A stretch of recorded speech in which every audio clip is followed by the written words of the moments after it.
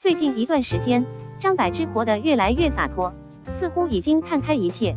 十月二十九日早上，张柏芝在个人社交平台分享一组素颜爬山照。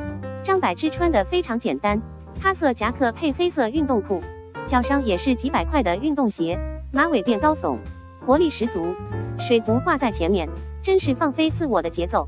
张柏芝不但衣着朴素，脸上也是完全未施脂粉，连口红都没有涂，但心情看起来相当不错，还对着镜头比出剪刀手。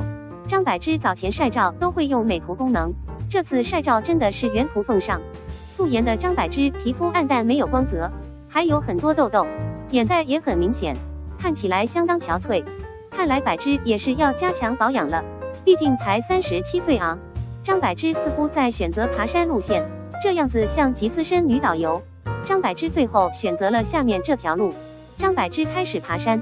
张柏芝前段时间脚受伤，看来还没有痊愈，所以拄拐爬山。张柏芝分享背影。